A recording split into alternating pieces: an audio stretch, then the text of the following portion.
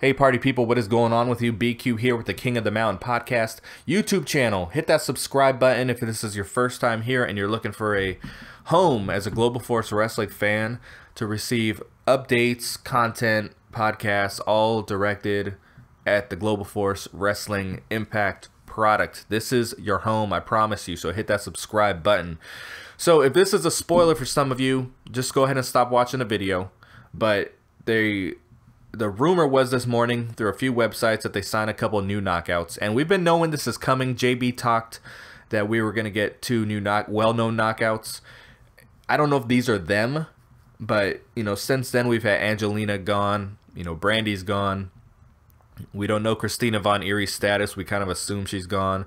Madison is also gone. So it's you know, I call it a bare bones division. It's still got a lot of women on the roster but there's only four, you know, with LVN, Sienna, Rosemary, and and uh, Allie that are like the full timers right now. And I guess you could throw Gail Kim in there too, but you know, Ava Storie, MJ, um, Alisha, we, we know we're not going to get them on a regular basis necessarily. So there is room to add to the division. And face it, you know, Angelina, Madison, Brandi, you know, they weren't putting on five star matches by any means. Um, so this is a good thing. We want to see that knockouts of old, but we want to see it with new faces. We don't want, you know, uh, it's okay to have ODB around part time, but it's, you know, to resurrect, you know, the knockouts of old. We don't necessarily have to have the knockouts of old. It's it's better to find women that have that hunger, just like these ladies had back then. So, the two rumored signings. Uh, the first one is uh, Hania, Hania the Huntress. She worked with Women of Honor she's she's impressive. She's good. She can go. Uh, got a got a pretty good look, and if you want to look up a reference match, she had a two out of three falls match in Women of Honor with Taeler Hendrix that was pretty good. And I remember watching her. I even remember watching that match, and uh, you know when it initially came out, and I said, "Wow, what an impressive um, athlete." You know, I, I definitely would like to see someone like this as a knockout.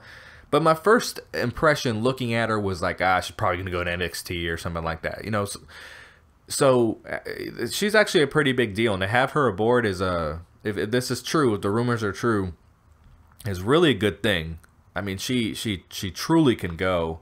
I had nothing but good to say about her after watching the match. Um, Kiera Hogan is the other one. I'm not super familiar with her. I did look her up a little bit. Did, did a little research. Attractive, attractive girl. You know, maybe a maybe a, a notch or two below Sasha Banks, uh, but with an ass like uh, Naomi. she's kind of built like Naomi. So she looks like she she looks pretty athletic, but uh, from the few matches I watched, she didn't show me a whole lot. You know, uh, you know, small indie shows and everything, kind of some standard wrestling. I wasn't seeing anything that totally blew me away, but she, if you look at her physically, you know, she look, she kind of looks like Naomi, a little bit thinner, and uh, I, I, consider Naomi a very reckless wrestler, but she's very athletic, uh, very gifted in that department, and Kiera Hogan's kind of built like her a little bit. Um, I see her move like her a little bit too, so I'm gonna assume that she's she's got quite a bit in the tank.